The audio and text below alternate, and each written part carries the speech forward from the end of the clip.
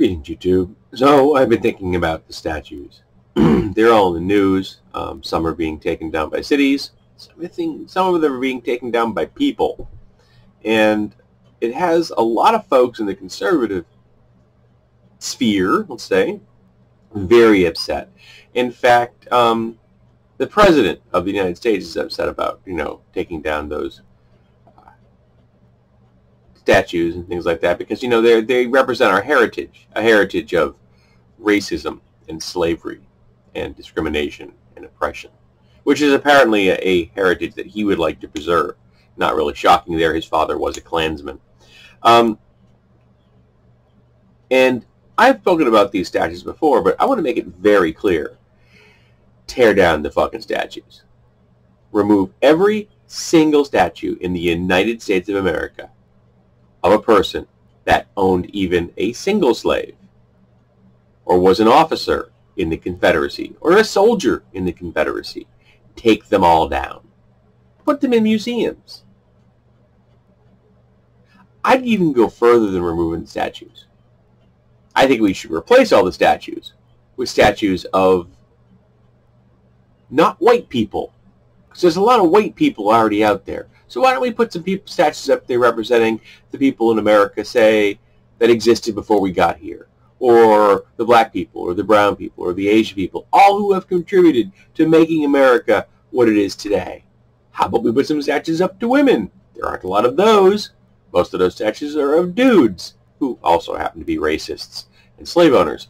Um, and or slave owners. Some of them weren't slave owners. Some of them were just willing to fight and die to, to preserve slavery. But I'd even go further than that. I would take the name of anyone that was a slave owner or who fought for the Confederacy off every single thing in America. All the streets, all the buildings, all the monuments, all the cities, all of them.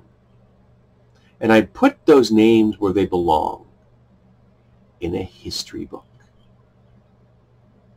so that people could learn about them in context.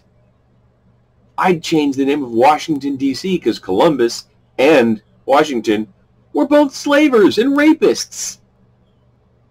I'd take the name off of every city in America and have them changed to someone that wasn't a slaver or didn't fight for the Confederacy.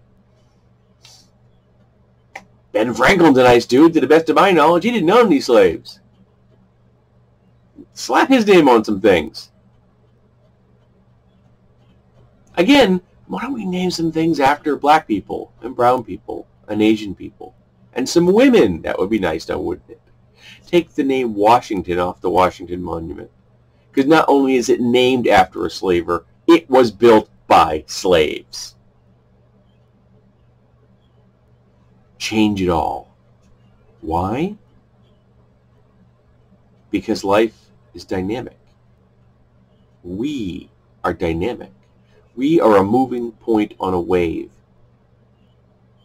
We never stand still. And we have to learn, and adapt, and to change. And the reality is, is that we're not. There are terrified white Americans digging their claws into things that they think represent something that was worth saving, and isn't. Those statues weren't put up at the end of the Civil War. Those statues were put up there as a symbol to the black people of America that we used to own you and we are going to continue to oppress you. And all of this stuff is part of our history, and it all needs to be in our history. It needs to be in every damn history book ever used in every school in America. It needs to be put into context. But what it doesn't need is it doesn't need veneration. And when you put up a statue or you put a name on something, that is an act of veneration. And we do not need to venerate slave owners, whether they're founding fathers or presidents or whoever the hell they are get their names off of things. I know people are saying, well, you shouldn't change Jefferson or Washington because they were founding fathers. I don't give a shit that they were founding founding fathers. They were slavers, and we know Jefferson was a rapist. So yeah, I don't want the rapists and the slavers' names on things. I know I'm a wacky progressive. Get the names off things. Change them. Let us show not only the world at large, but the black people that live here that we recognize our wrongs. We are willing to admit our wrongs. So at least we can begin to move forward. But a whole lot of white people in America are terrified about that. They're terrified to admit their wrongs, personally or culturally. They can't even admit their own damn history. So they cling to the past and they continue to perpetuate the veneration of slavers and rapists, which is uh, vile.